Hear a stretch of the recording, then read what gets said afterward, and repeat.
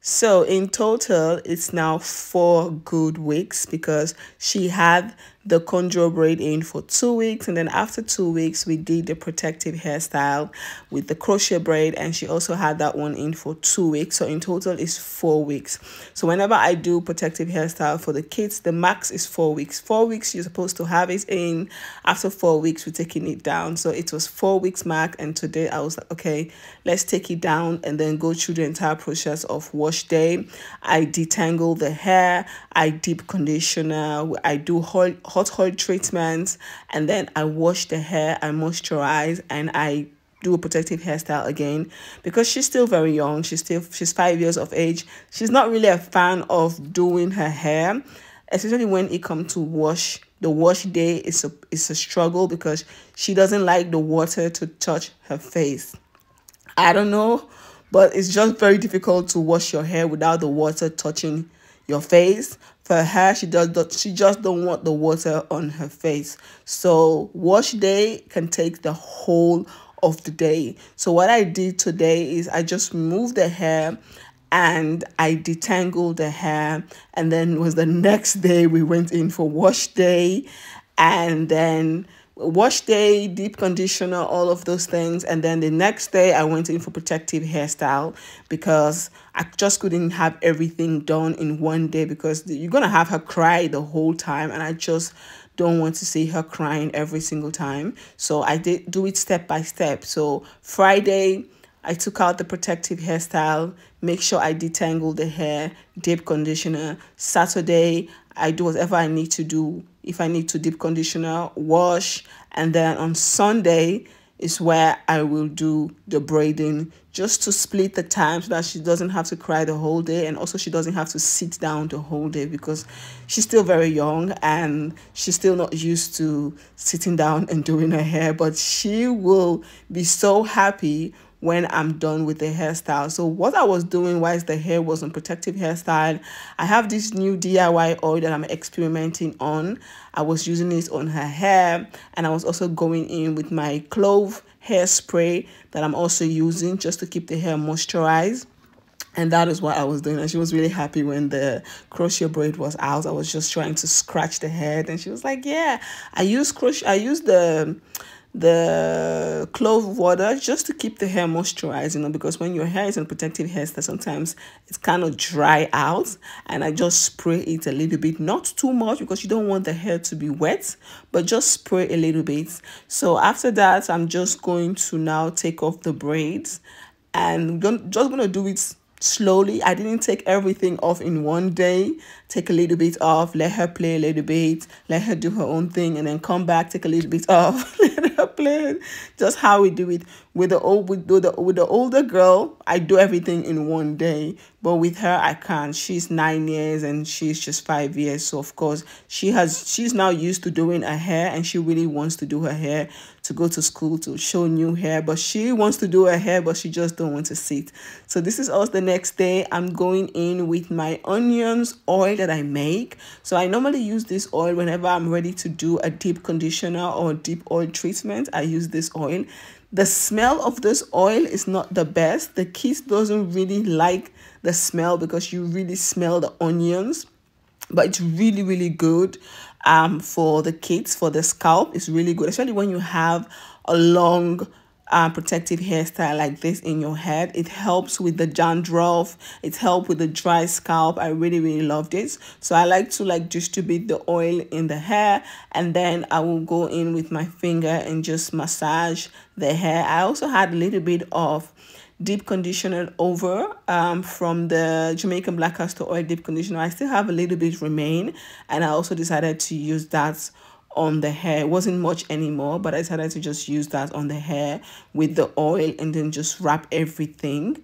And um, I also like to put the oil at the ends because the ends of the hair is like the oldest part of the hair and it tends to break a lot for some people i don't really have that issue because of this because of what i have been doing. So i like to like drop some few oils at the end and then i like to take a glove just a normal glove and i'll wrap the, the i'll wrap the glove at the end just to keep the oil um, at the end of the hair just to make sure the oil penetrates at the end of the hair. And then what I will also do, I will let her play, do her things, and then later on, five minutes or 10 minutes before wash, I will let her sit underneath the steaming cap um, I didn't show that because yeah, I was I just let her do it. I was doing other things, so I didn't really make a video of that part.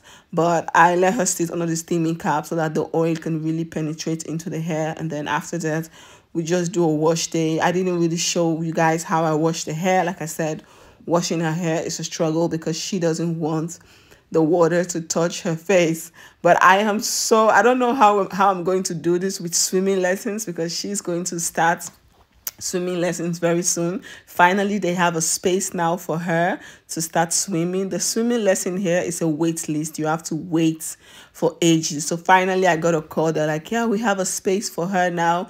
She can start swimming. And I'm just like, um, I'm just like curious to know, just to see how the swimming is going to look like because she doesn't want water on her face. So I know definitely the first five to ten lessons, my money is just going away because she's, she's, she's, she's the, by the first five to ten lessons of the swimming, my money is just going away. I'm just going to sacrifice that money for her to get over that um, anxiety of the water touching her face, which of course I know is going to take uh, time for her to just get over it. But yeah, I'm really happy now that she can go to swim and hopefully she can learn to she can learn pass through that and also wash hair day can be more fun for the both of us because now wash hair day is really not fun uh, she doesn't really like the water on her face. She will cry a lot. So I'm really excited that she's now really going to start swimming and she can get past that because there's no way you're going to swim that you don't want water on your face. So the first 10, the first 5 to 10 lessons is just going to be a sacrifice. And um, hopefully she can get through past that and so that we both can have like a, a really good time when it comes to wash wash day when it comes to wash day.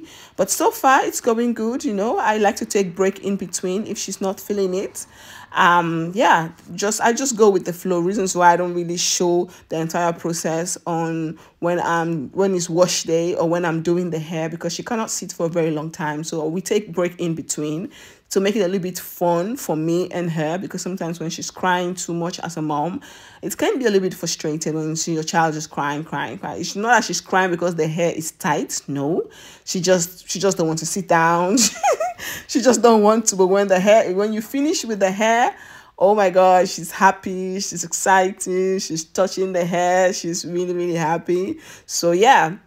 So after i do that i'm just going to wrap the hair with some plastic bag. I always like to use plastic bag to wrap the hair and then i'll go in with a shower cap and i'll just allow her to do her thing. So i always like to do this in the morning so that she can do whatever she needs to do the whole day. She play around the house in the backyard and then later in the evening just right before dinner i will let her take shower i will wash the hair and then sunday morning that is when we start with the protective hairstyle because I know it's going to take a whole day. So I make sure like these days, when I know this weekend is going to be a, a, a weekend of hair day, I make sure I cook uh one of the the weekly days so i don't have to go to the kitchen because it can be it can it can be very frustrating when you have to cook clean house and it's a hair day. So i really plan myself very well to make sure i also don't get um annoying with the process. But yeah so now i'm just going to let her to sit down and play and do her stuff and just have fun because this this was like very early in the morning and uh, I think around around 9 9 to 9:30 and then later on in the evening in the evening right before dinner now I'm going to wash the hair. This is what the hair is looking like. Her hair has grown out so much.